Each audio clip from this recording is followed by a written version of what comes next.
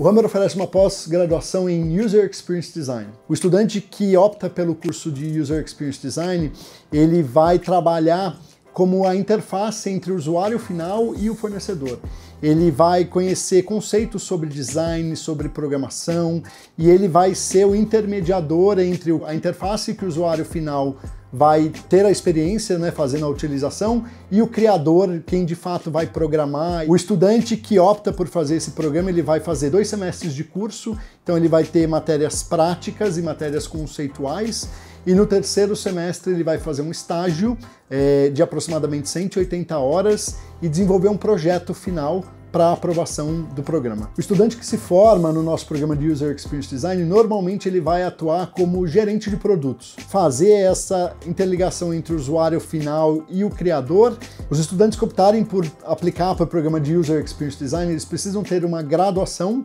ou, no mínimo, um tecnólogo de três anos e a proficiência do inglês, mas tanto o tecnólogo quanto a graduação não necessariamente precisam ser na área de design, pode ser qualquer formação. Esse, assim como todos os outros programas oferecidos, pelo Humber College são elegíveis ao PGWP, que pode ser de 1 a 3 anos de duração. E se você se interessou por um dos nossos programas e quer mais informações, entre em contato com a Education, eles são nossos representantes oficiais aqui no Brasil e eles vão auxiliar vocês em todo esse projeto, desde a escolha do seu curso, do curso ideal que faça sentido para a sua trajetória, até a sua chegada no Canadá.